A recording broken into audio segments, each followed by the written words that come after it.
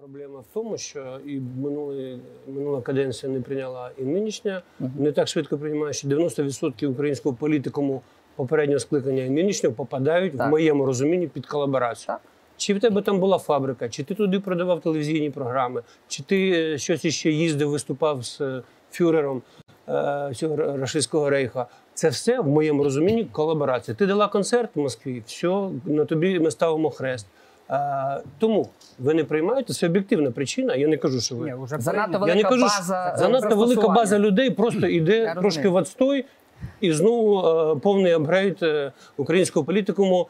Е, і дай Бог, щоб там прийшли люди, які закінчили хоча б середню школу, уже в тому наступному, очищеному від колаборації.